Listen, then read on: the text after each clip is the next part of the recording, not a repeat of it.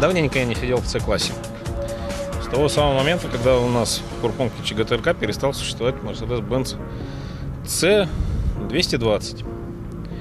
И в автостопе, кстати, C-класс ну, не появлялся. Трешки были от BMW. А Mercedes, ну, все как-то E-класс и S-класс. CLS еще там был. Хм.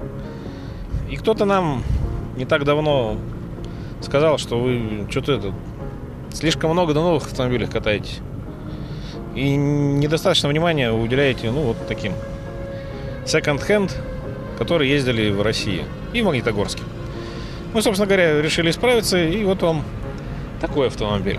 Mercedes-Benz э, с двигателем двухлитровым 135 лошадиных сил.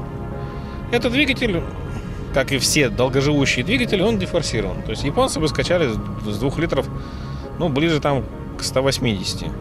Ну, зачем? Mercedes автомобиль э, гарантированно надежный и должен служить вам долго и упорно. И причем, ну, я знаю Мерседесы, которые, да, действительно очень долго служили, а этот C-класс пришел на смену самому надежному из Мерседесов. Нет, это не 600 Мерседес. А помните, был такой Mercedes 180E. Те, кто не помнит и кто родился позже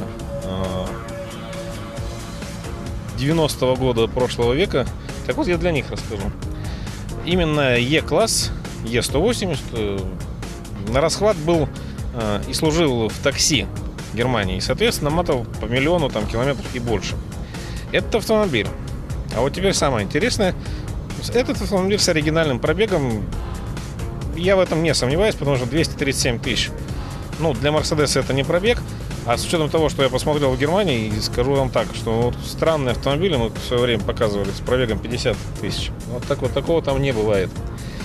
А сколько машина стоит? Ну, в районе 350 тысяч, и, и есть у вас возможность торга, а, и, и вы можете себе приобрести машину э, на автомате, а, с круиз-контролем, между прочим, с климат-контролем, с работающим кондиционером, что не всегда бывает для 99 -го года, и в ухоженном очень таком состоянии.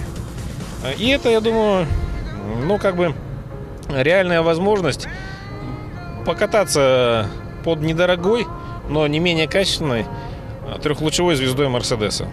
Что касается внешнего технического состояния, ну, дело в том, что и это нонсенс, автомобили старше трех лет не бывают не битые, даже если они стоят в автосалонах. Ну, швабра может урониться или еще что-нибудь.